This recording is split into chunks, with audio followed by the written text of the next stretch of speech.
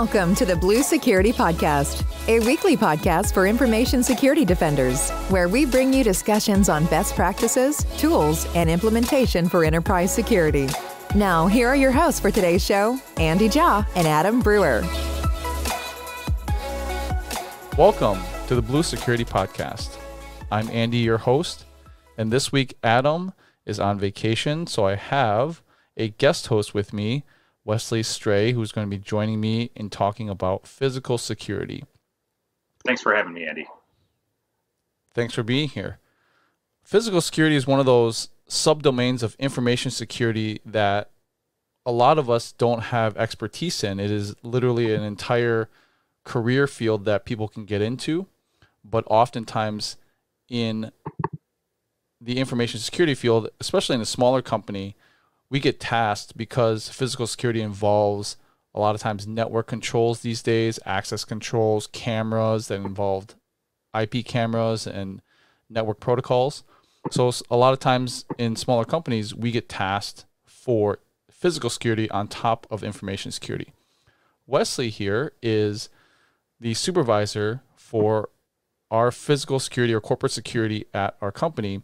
And I brought him on because our physical security program is very, very good. I know Wesley was involved in building that program pretty much from the start. So, Wesley, if you can just give an introduction about yourself, kind of let our listeners know your experience and uh, what you're doing today. Absolutely. So, I've been in uh, security industry for a little less than 15 years now. Uh, started in law enforcement and moved into a career in investigations. And after that, I found my way into uh, corporate security. Um, been in corporate security for about eight years now, um, with uh, a current employer for a little over two, and uh, it's been it's been a, a ride. Um, there's been a lot of development within the industry in, in just that short period of time. Um, I have most of my experience comes from uh, the IT or I should say, IT portions of physical security. Um, there's a there's a lot to be said about org charts with physical security, and that kind of determines the level of experience that you're going to get with the particular types of uh, physical security programs. Uh, I was fortunate enough to be part of an IT team that had uh, the physical security reported up to IT, and so I spent a lot of time really focusing on uh, you know, IP cameras, access control systems, intrusion detection, the the more techie sides of uh, of physical security, and that's what brought me over to uh, my current role. So physical security is often like the first layer of protection in any organization, right? When you when you approach an organization from a physical site, when you walk in, that's the typically the first thing that happens is seeing what kind of physical security there is. Are there cameras? Are there um, you know, timed locks on the doors? Any type of badging system in place? Maybe even a receptionist. You know that that first layer person who's greeting you, or can you just walk right into the work area? So it's it's pretty important, uh, especially from an information security standpoint. When you're trying to prevent people from accessing like the physical servers or systems that are on site. I like to refer back to one of my favorite movies, Star Wars Rogue One, yeah. because in that movie, they're trying to steal the plans to the Death Star, right? That's like proprietary information that is that is very sensitive to the Empire. And what do they have to do? They have to go on site and break into a facility, you know, do um, some espionage, some cover, uh, and then break into the physical security to steal the plant, and then they beamed it out, you know, using uh, network communications, right, to to the space shuttle, uh, the space station that was uh, waiting outside. So um, that's kind of a perfect example of information security, and not only that, too, in that movie, which is uh, also something that we worry about, is there was an insider threat. You know, the Yes. Uh, person who designed the Death Star actually designed a vulnerability within the Death Star, so it was an insider threat, and then um, that was something that was exploited later on once they got their information um, in the hands of the rebels. So I like to use that example because I'm a huge Star Wars fan, uh, but that's why physical security is important.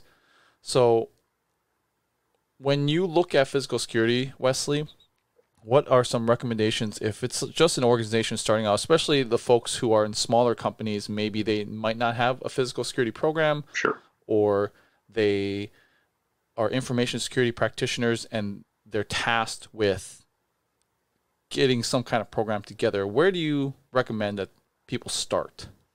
That's a great question.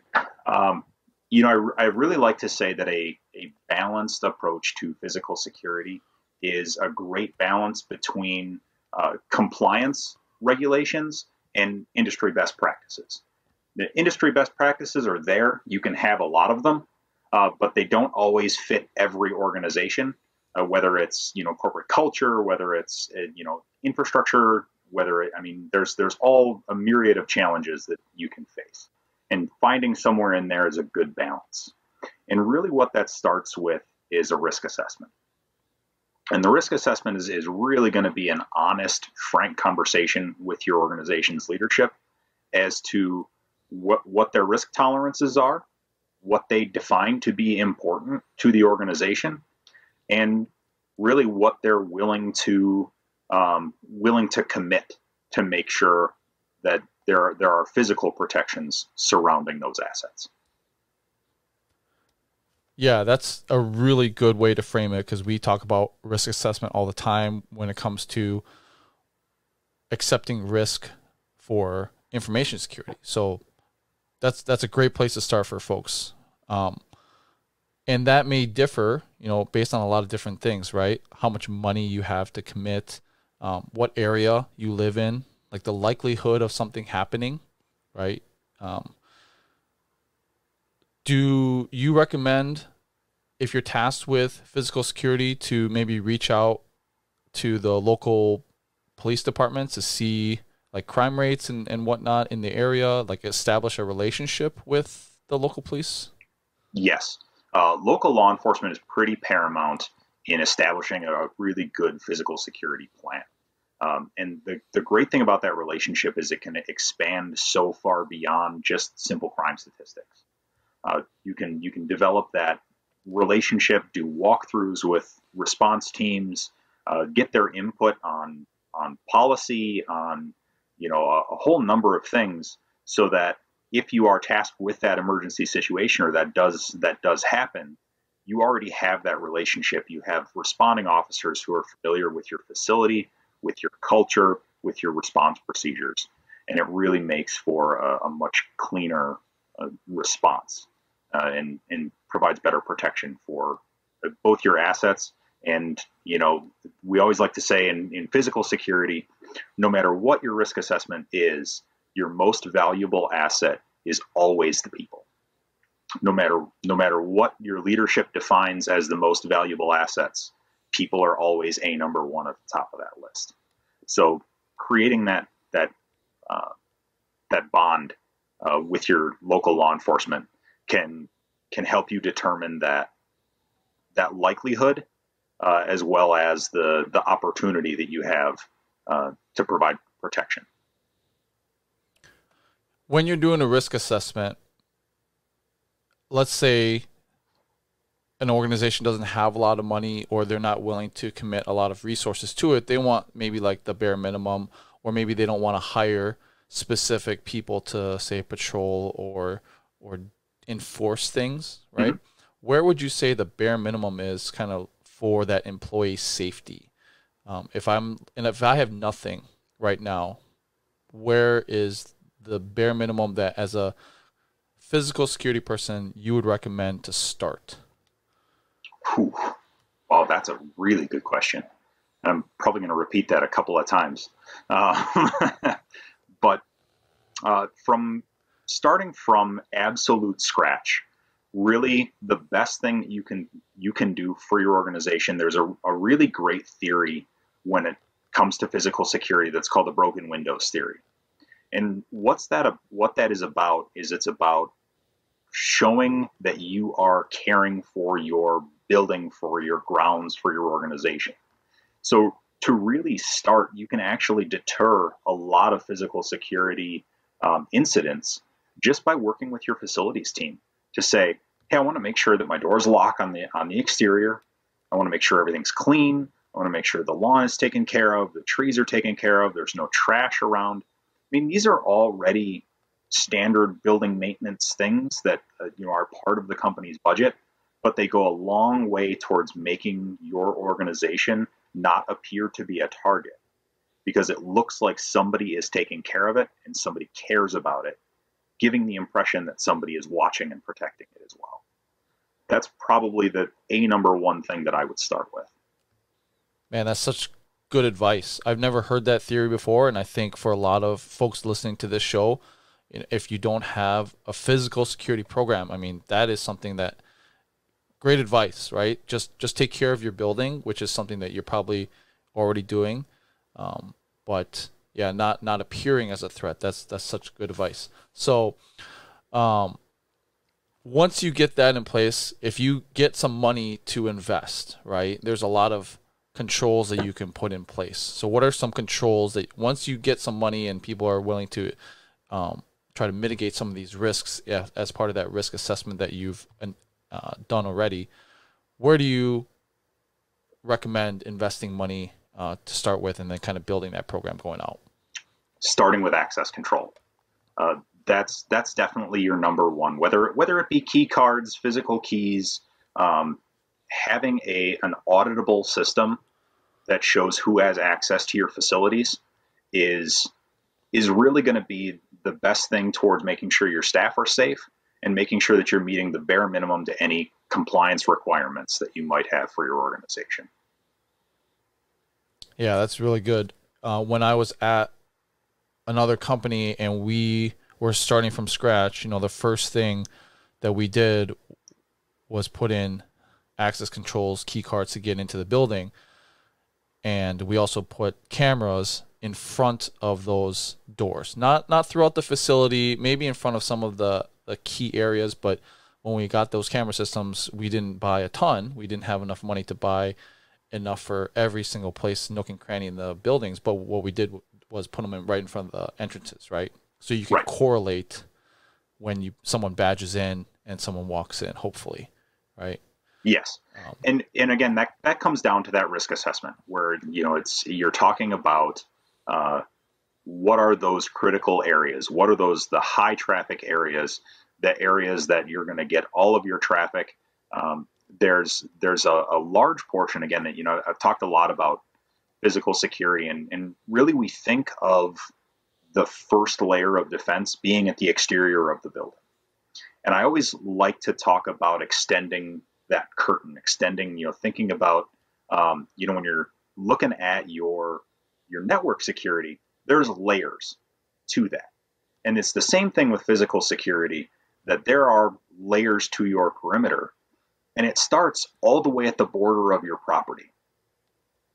And there's there's so many things that you can do, whether it's fences or just again going back to uh, you know shrubbery, things like that. Um, but those pathways funnel all of your your visitor traffic, your employee traffic to those high visibility areas. Uh, there's a, a, theory called crime, prevention through environmental design, uh, CPTED, and it's it's about really getting people to unconsciously go to those high visibility areas, and it makes the people who belong there, it makes the people who are invited, our employees, whatever, it makes them feel safe, and it makes all of the people who are bad actors and the people who know they shouldn't be there feel uncomfortable because it makes them visible. Mm-hmm. So that's, you know, again, going back to that to that risk assessment, those are the areas that are most important to provide that visibility because you're going to notice that that unusual behavior in in those areas because the facility is designed to make them feel uncomfortable as they approach.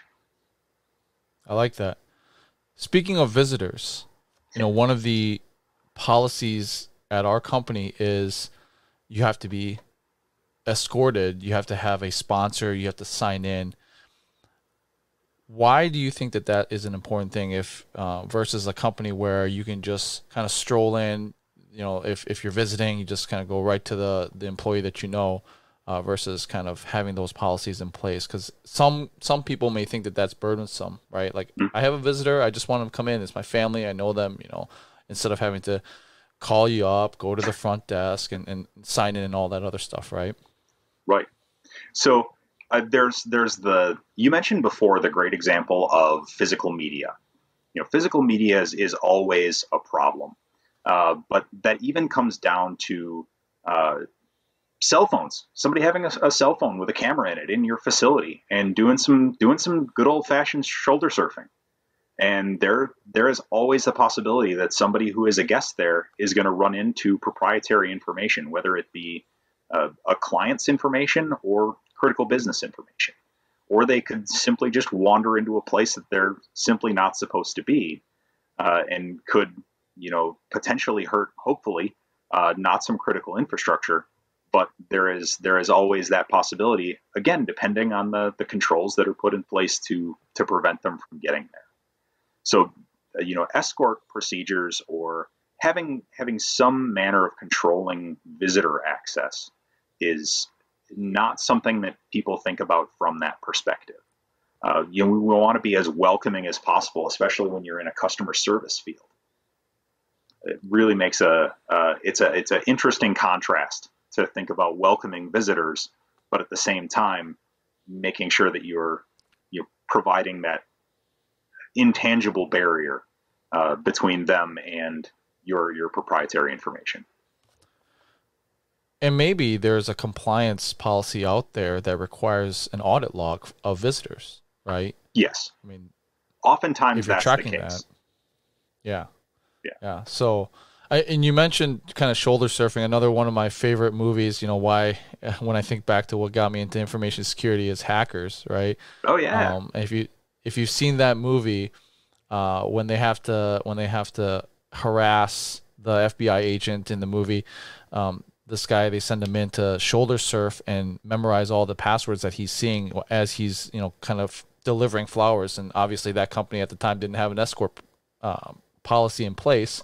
So he just walked in with his delivery flowers and he's looking at everyone's keyboards and, and papers and stuff like that. And, um, you know, as well as another example in that movie, if you're looking at disposing of information, right? I, a lot of places still have paper and if you're tossing out paper you want to have like those shred bins i know that our company we, we do have those right right so have a shred bin and uh, if it's digital media, you probably want to, you know, drill a hole or do something to destroy it because they did a lot of dumpster diving in that movie. Yeah. people still do that, right? Like people if, definitely do that. That's yeah. that's a big so, part of it. Uh, and I think that works both ways when you, you talk about you, you know an intruder that's coming in and doing some shoulder surfing and what they're trying to steal in in that respect. But at the same time, what are they trying to leave behind when they're in there? Uh, from a physical security perspective, one of the one of the things that people tend to forget is if there is a breach of the building. Uh, to you know, how many physical security departments are calling up their IT team to say, "Hey, somebody was in here that we don't know about. We need an IT asset audit, and we need to sweep. We need people to sweep for malicious devices." Yep. Because so, so few people think, or many people, I should say, uh, think that the uh, the intruder is simply looking to walk out with something, not looking to leave something behind, and, and that's yeah. that's another avenue there. Yeah, great example. Just like when I was thinking back to the Capitol riots, when there was the breach of the Capitol, right? You know, all the IT assets were exposed, right? Who knows if they planted something or if they took something? You know, um, there should there should definitely be an IT audit afterwards uh, when there's a physical security breach. It's interesting because physical security, you know, once you start getting into like breaches like that or emergency situations, sometimes that for physical security kind of goes into maybe uh, facilities management. If you don't have a physical security, I remember at my old company, we were tasked with the access controls and the IP cameras, but then when it came to an incident response plan of a physical disaster or a fire, let's say a fire, right? Or a tornado or something like that, which is a threat to IT systems if you house, you know, data there. Just having your workstations there really is it could be a, a information security incident. But when you start getting into those type of, you know, physical threats, then it kind of it, it can be almost a balance between the facilities people who probably hold that plan, um, or hopefully like a team like yours, right? Because you you guys handle that sort of stuff at our company, right? Much of it, yes. Uh, and it's a it's a great balance. And we talked a little bit about org charts from the very beginning, and it's really common. I think the most the two most common uh, org charts that I've seen with security is for them to file up to IT or them to uh, filter up to facilities. Facilities probably being the most common, and it's facilities tends to operate fire alarms uh, and environmental detections for flood, moisture, you know, anything like that, uh, power outages, whatever. Um, but one of the things a you know physical security program does is it's inspecting those doors. We you know we talked about just caring for your facility. Uh, there's a great movie out there uh, with Sylvester Stallone called Escape Plan, mm-hmm. where he is uh, he's in a, a, prison escape consultant, and right away he breaks out of a cell uh, by jamming some uh, uh, toilet paper, some wet toilet paper in, into the trap, so that the officer, you know, doesn't think to to pull pull the trap and, and see that the latch hasn't actually secured. And that's one of the one of the best ways for uh, an actual physical security breach. And and you know when I when I use the term breach, I'm not uh, thinking of you know a big you know smash and grab, uh, but it, it is you know anything that that is a uninvited person or un you know um, unwanted guest, if you will, uh, that's that's right. defeating your your layers of access control. And that always leads to or starts with little probes whether to see if somebody's watching or see if they can you know create a, an easier avenue for entrance later. And that's where you're you can leverage your facilities team again to do inspections on your doors your windows your latches uh, all of those things. If you if you don't have the money for for somebody to go out and do physical security building checks uh, you can really leverage uh, a lot of the internal departments that you have to to make sure all of that stuff is taken care of and no one's able to to manipulate it that way. Yeah, I mean, you mentioned humidity and environmental controls. I mean, that's especially if you're housing, um, you know, servers on site. Uh, there are still people who do. You know, th- there's been kind of almost a uh, a return back to housing your own data because of uh, privacy issues and all of that, and and um, trying to rely less and less on the cloud. Mm-hmm.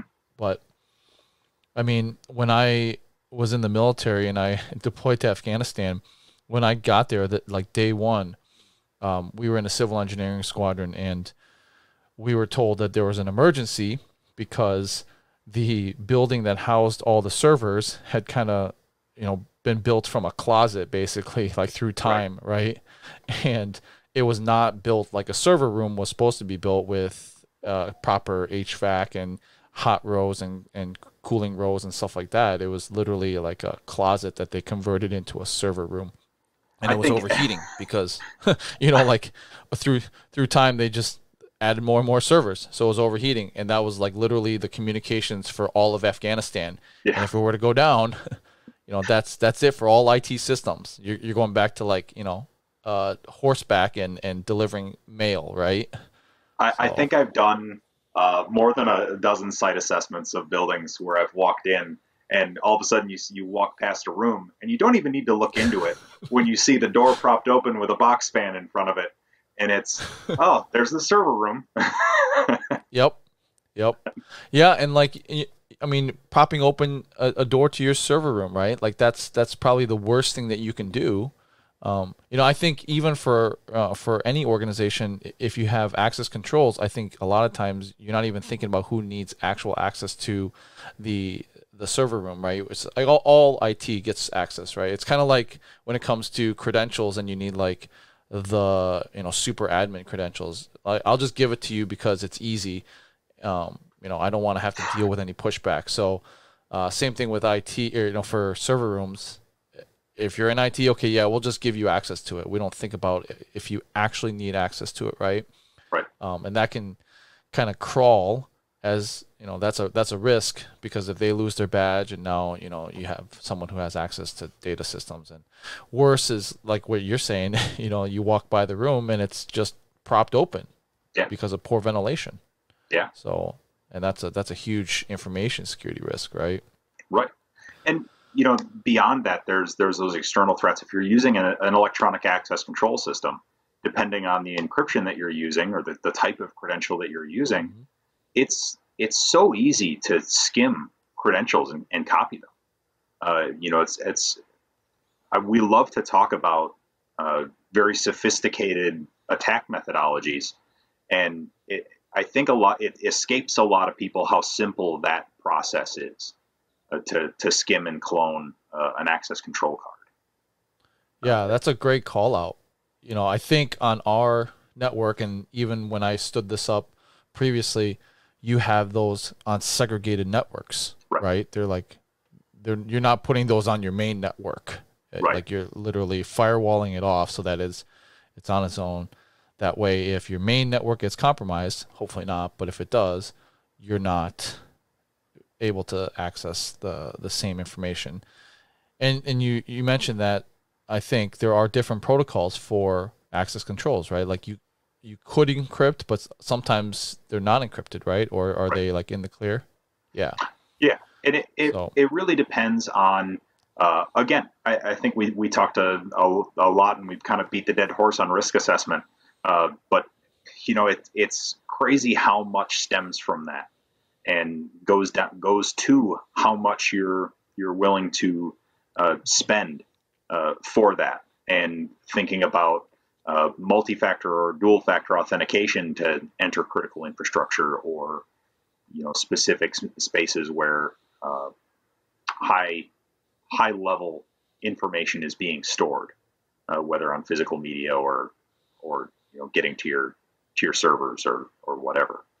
Um, you, you start you start talking about uh, that badge that can easily be skimmed uh, or uh, provided through a little bit of social engineering mm-hmm. Uh, to to somebody that shouldn't necessarily be there.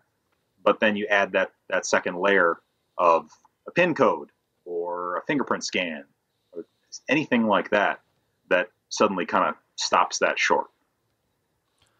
Yeah, it's, you, you, it's interesting you mentioned social engineering because a lot of pen tests, when as a security team you're you're conducting an external pen test or a third party pen test, there are a lot of companies that will actually ask if they want to do a physical pen test as part of an information security pen test or a social engineering pen test. And I remember at my old company, we were a little bit scared of that because we knew it, we would probably fail, right? We knew the the the mitigations that we had in place were probably not good enough to survive a physical uh, pen test, right?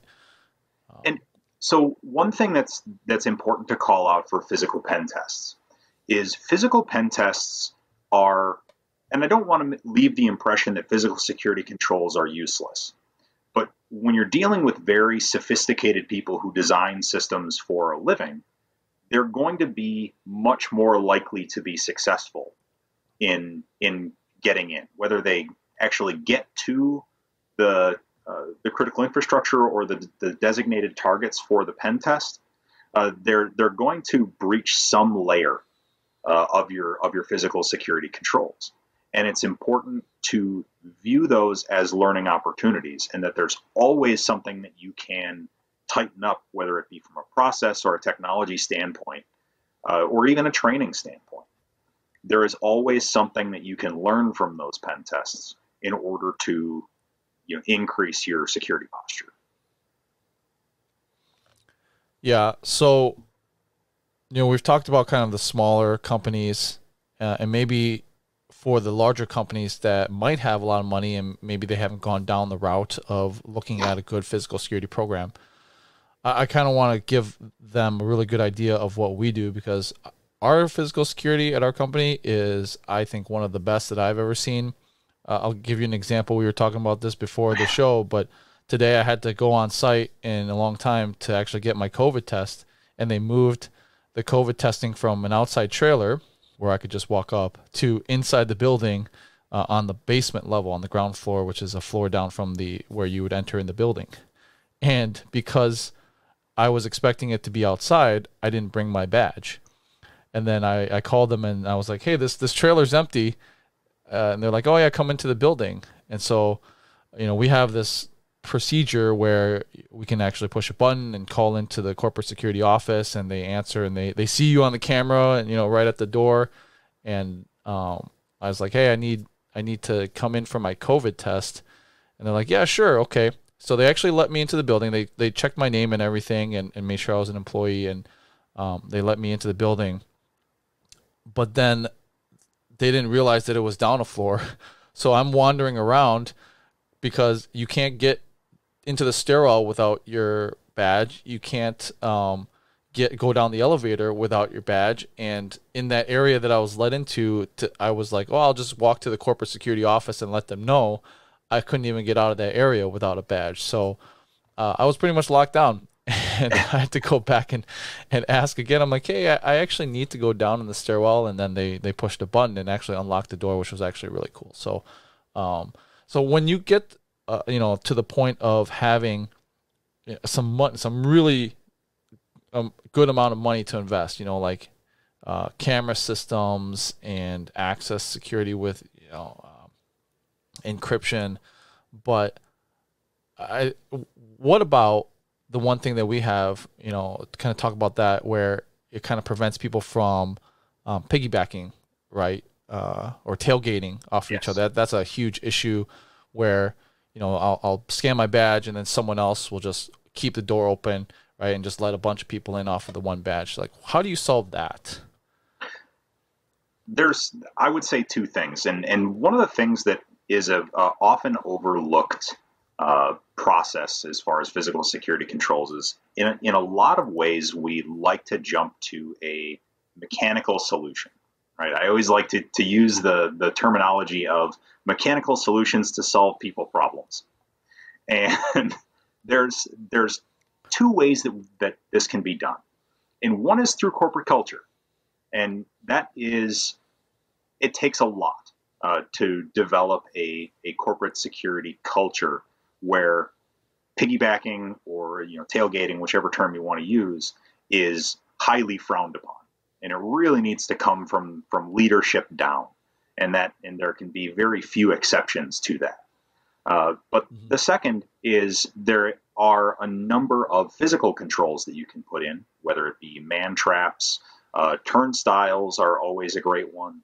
Uh, there are um, revolving doors uh, you know any number of, of physical impediments that just make it uh, very difficult for more than one person to go through any portal at a, a given time. Uh, down to, you know, uh, line cross analytics on a camera. If you're if you're buying a camera for uh, an IP camera just to watch your entrance, there's a lot of great edge analytics that are out there now that you're already paying for when you purchase the camera, and you can set up some simple scripting on the on the camera to set off an alert, send notification, you know, whatever for response uh, to let you know, hey, more than one person came through this door with only one credential. Hmm. That's pretty cool. Yeah. I like how you said that people like to jump to mechanical controls, and then there's a difference between a, a physical control and a culture or a policy.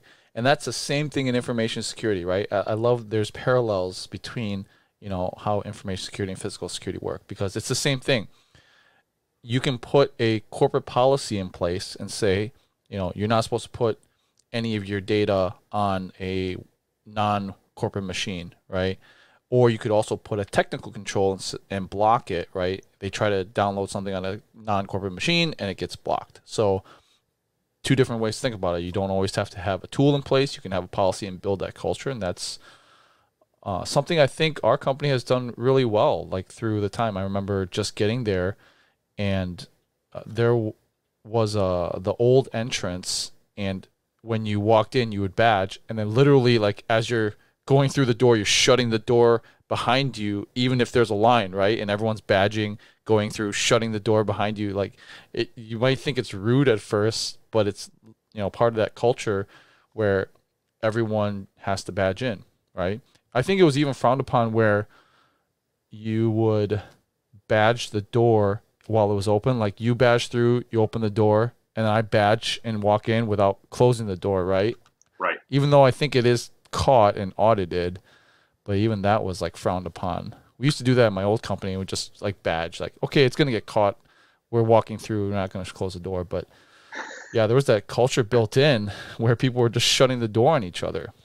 yeah. So yeah, that's a that's a great call out. Yeah, it definitely takes it definitely takes a lot of, um, and I think we've talked before about low cost solutions, and policy and process controls are probably the most underrated part of physical security, and usually are kind of that jumping off point from when you have some physical security duties that are designated to a person or uh, you know, somebody on a department and the creation of a unique physical security role or team. Uh, as it comes down to the administration of all of those those corporate policies and those those low cost options that do a lot towards increasing your physical security posture. Yeah, yeah. and if you have like for our company we we actually have, you know, corporate security partners who um, have patrol cars and they they man you know uh, basically post throughout the day right where they're stationed somewhere and, and then they do yeah. kind of patrols if you don't have the money for that uh, have you been um, floated the idea or even augmenting our staff with say like a a contracted um, you know company to to just do site checks. I mean that's something i've seen in the past. I don't know if what you've seen in, in that aspect or recommend for yes. companies who may not have the money to staff like full-time staff right? Yeah absolutely. And and it really again you know as we as we you know as i like to say it keeps going back to that risk assessment.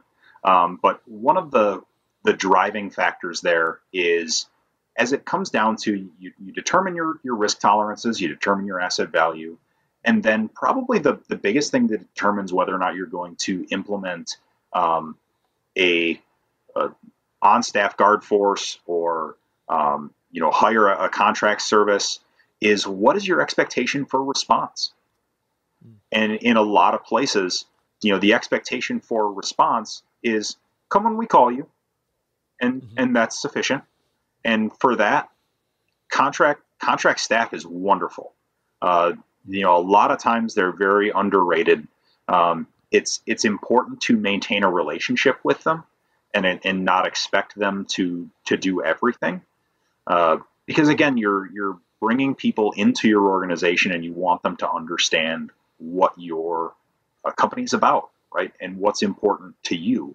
So so that those patrol elements will start to provide you the information and the feedback that's important to to your program to your organization um, and then once that expectation for response uh, goes beyond come when we call you. We want shorter response times. We want somebody on on site. We want uh, presence.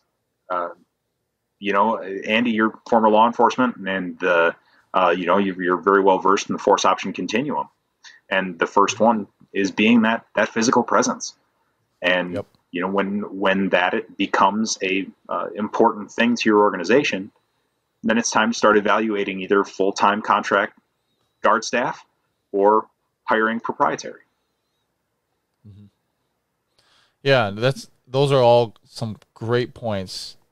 You know, one of the other things too, you know, we haven't talked about. I was, I've been at companies where they have an alarm system, right? And that's that's also uh, another component. If you don't have full time staff, maybe you just lock up and you send an alarm, right? And that's also offloading the risk to, say, a, a monitoring company Yes. who will then dispatch um, a, a contracted or real police, right? Yes. Um, so that that uh, you know goes back to your what is the expectation of response, right? If it's okay that the response time from getting tripping the alarm to uh, the dispatch of them being on site, then you know that's probably an acceptable risk based on the cost. So Yeah, and part of that's locality, right? Uh, Mhm. I've worked with organizations that have had parts, I should say, parts of the organization, whether it be, um, you know, a, a small office or a larger office, that are in in very rural areas, Mhm. and there's no contract guard staff that's going to be out there, and Yep. It's very unlikely that you're going to be able to staff full time guards there. So Mhm. your your intrusion alarm goes goes right to the local law enforcement. Yep. Um, and hopefully it's a municipal one uh, and not a county one because counties tend to be spread thin in rural areas uh, and, Yep. and response times are larger. But there you have it. That Yeah. gets folded Yeah, into your risk profile. Exactly. I mean, that's my old company. We were located in a rural area where people left their doors unlocked still, right? Everyone knew everyone in the town. They didn't lock their car doors, they didn't lock their front doors. And so the risk of a physical breach was on the lower side. And yeah, there was no way to get uh, full time staff out there. So yeah, we, we just had an alarm system that would go right to the local PD and and they were right down the street. So you know Yep. the response time was five minutes. so, right? Lickety split. Yep. So yeah. Well, what other advice do you have for anyone who may be starting or even maturing their model? Like where where do you kind of um, get to the point where you can kind of say, I have a great program in place. I don't have to worry about too much. Like we've mitigated all these risks. Ooh. It's a conti- you know just like IT security, it's a continuous process of reevaluation. And I think the biggest thing that can be done is to continue to build relationships with internal partners, with leadership, uh, and and really just talk about all of the concerns that they have. Because the more you know about every layer of your organization, the more you understand what those risks are and you understand how they impact other areas. And it, it doesn't necessarily make uh, risks more glaring, but you understand the relationships and, and the fallout uh, to say, oh, I have, uh, you know, I, this this is actually presents more of a risk to this other thing, or presents less because this this other business area can can actually just absorb some of that. Uh, so I, I, think the best thing to do is continue to reevaluate uh, through through policy, through audit, through uh, and just through continuous uh, understanding of what your organization wants and what your organization does, and all of the the silos within it. Such a great answer. I mean, that's l- literally what we talk about all the time. You know, on the show is is uh, reevaluating the risk. And I, I think from an information security side, I'm always sitting here thinking about what can I do better and how can I plug these holes? Is there another risk that I'm trying to mitigate? Uh, I'm always trying to think about that and then building those relationships, right? We talk about this all the time on our show because, you know, just like with physical security, information security is making sure that the leadership understands the risks that they're accepting right? Like, hey, this is a huge risk that we're not mitigating because of this. And, you know, if we don't do that, you're literally accepting it. So do you want to accept this or do you want to Right. have me put something in place to help mitigate it, right? And so, but you have to explain it in a way that is non threatening, is budgetary friendly, and all this other stuff. So, um, yeah, great advice. Approach it the same way that we've kind of talked about information security because all the basis you know, comes down to relationships and communication. That's that's a great point in you know, especially in talks with leadership, how uh, people tend to to see security professionals across the board as the people who's, who like to say no, uh, mm-hmm. and and really what what a successful security department is is they're they're the court jesters, right? They're they're the people that are saying, "Hey, that's a great idea. Here's all the ways that it could go wrong." And I just want you to know about that before you decide to do it anyway, because I know you're gonna, and I'm right. I'm happy to support you. But I just want to know, I want you to know what you're jumping into. yeah, yeah. Well, Wesley, this has been a fantastic conversation. I mean, really appreciate you taking the time to come on the show and, and give your point of view on physical security because it's certainly not something that you know I'm an expert on. Uh, while I have a little bit of experience, you know, I think you're you've definitely have more, and and our listeners here will appreciate your point of view, especially if they are starting from scratch or um, they may be able to use this uh, conversation as maybe a risk assessment at their company, right? Take a look at what they're doing. So, uh, where can our listeners find you if they have some follow up questions or if they want to reach out to you? Uh, I I think uh, you're on LinkedIn, right? Yes, I am LinkedIn.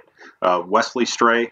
Um, you know, that's that's where you can find me. That's probably the the best place uh, professionally to reach me for any questions or follow up that anyone might have. Great. I'll post that in the show notes uh, as a link. So I appreciate it, and, I, and I'd love a, a, a, link to the to the episode to share on my on my LinkedIn page. Absolutely, we'll get that for you. So thank you so much for having me, Andy. Yeah, thanks again. That's the end of our show for this week. As always, if you have any follow up questions, our contact information will be in the show notes. If you have any other security topics you'd like to hear about, definitely reach out to us and we'll try to find a show to talk about that. Thanks and talk to you guys next week. Thank you for listening to the Blue Security Podcast. Please check out the show notes, catch up on episodes you may have missed, and subscribe so you don't miss any future episodes. Find Andy on Twitter at AJaw0 and Adam at AJ Brewer. See you at our next episode.